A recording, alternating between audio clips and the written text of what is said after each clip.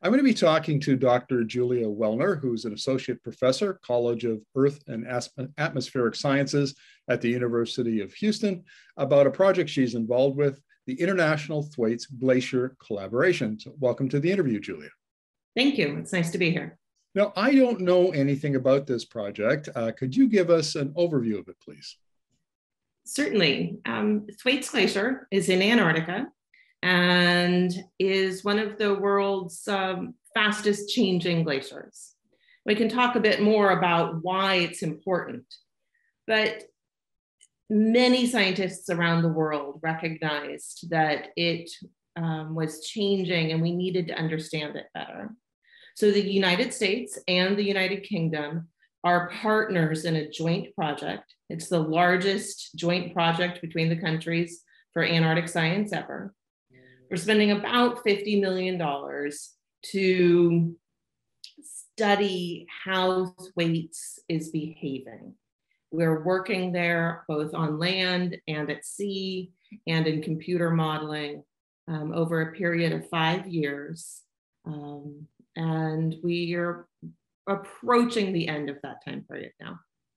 Now, my understanding is that the water uh, is warming and the glacier is retreating. And this glacier is so large that if it were to uh, collapse uh, mm-hmm. and melt, uh, that it could, all by itself, it could raise the global sea levels about two feet. Uh, have I got that information correct? Approximately, yes. Um, Thwaites Glacier has the potential to contribute about 65 centimeters to global sea level rise. Um, so yes, about two feet. And that's not going to happen instantly, but it does have the potential to happen rapidly, at least rapidly on the geologic time scale. Already, Thwaites Glacier currently contributes about 4% per year to annual sea level rise. So that's a lot for a single glacier, but it's not alarming the reason there's so much interest in Thwaites Glacier is what you just mentioned, that warm water is reaching the base. Antarctic glaciers are resting in contact with the ocean. So they're very different than what you might imagine in the Himalayas or the Alps, where ice is up in the mountain. Ice in the Antarctic is in contact with the water. And of course, water is liquid. That means it's above freezing. The ice is solid, it's below freezing. And so that thermal difference right there is what controls the retreat of the ice. Warm water has been found to be impinging or reaching up to the base of the ice. Overall, Antarctic air is very cold. It's very cold in the air. We're not melting ice from the top, it stays frozen. Doesn't rain, it just snows. But if we warm the water underneath the ice, just a tiniest bit, then we're changing that thermal balance and melting the ice from the bottom and destabilizing the ice from that side. 65 centimeters might not sound like a lot, but that's a glacier the size of Florida. And so what that means is that's going to spread out around the planet. Right.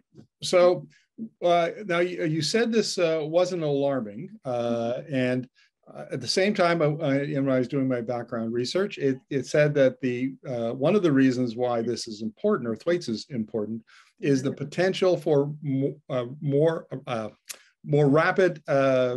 change than expected. Could you address that, please? Absolutely. So what I said is it's not alarming right now. But I certainly agree with you. Thwaites has the potential to be um, very catastrophic. So, all of West Antarctica, which includes Thwaites, is marine based ice. And what that means is that once retreat will start, it will get worse.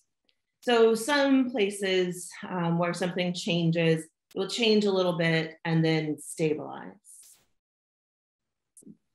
the retreat of West Antarctic or marine based glaciers um, will be uh, positive feedbacks. Once it starts going a little, it will go more, and then it will go more. And Thwaites Glacier is a prime example where as we start to step back, Thwaites will be in deeper and deeper water, making it harder and harder for it to get its footing. It's like a skier going downhill, and if they start to lose their balance, they're not going to find a place to rest until they get to the very bottom of the hill. Thwaites is like that. Once it starts to lose its footing, it will just get worse and worse. Uh, now you've been at this a couple of years. Uh, what uh, are some of the, you know, one or two uh, sort of uh, key bits of information that you gathered uh, that you were a little bit surprised about? Sure. You know, the International Thwaites Glacier Collaboration has over 100 scientists working on it. Project I'm working on is the offshore geology. And so some people study the ice from the top, some people study it from satellites. What we do is we work in the ocean, right at the margin of the ice, to understand that interface between the two. You mentioned earlier that the water has been found to be warming right next to the ice. And what that means is we've actually measured water temperatures, and our colleagues and our teams have found that warming signal. My students and I take sediment cores, just like geologists in the oil industry or any other type of geologist. We don't work on ice, we work on sediments. And we take those sediments to find out was that warm water there in the past? And we are able to look at um, the chemistry and the microfossils in those sediments and get a hint of when was the warm water there in the past? And one thing that we can say is, at least on a short time scale, this is new. The warm water has just started to impinge in this area in recent decades. That's a surprise. One of the questions I, I always ask scientists uh, mm-hmm. when we're talking about climate is uh, Do you have low confidence, medium confidence, or high confidence in the science that you're undertaking and the results that you're getting? That's a great question because I think it's really important for conveying to the public what we know about the climate and the potential change. I and all of the colleagues I have, every scientist I know, has exceptionally high confidence in the fact that the ice is retreating the retreat is accelerating as we watch it, and that there is a expectation that that retreat will continue. So that's high confidence. Accelerating retreat will continue. Only medium confidence in how much it will accelerate. We don't know if it's going to go from contributing 4% to 5% or 6% or 10% or 20 or 50. But we know it's not going to two or one. We know exceptionally well, high confidence, retreat of the ice sheet is accelerating.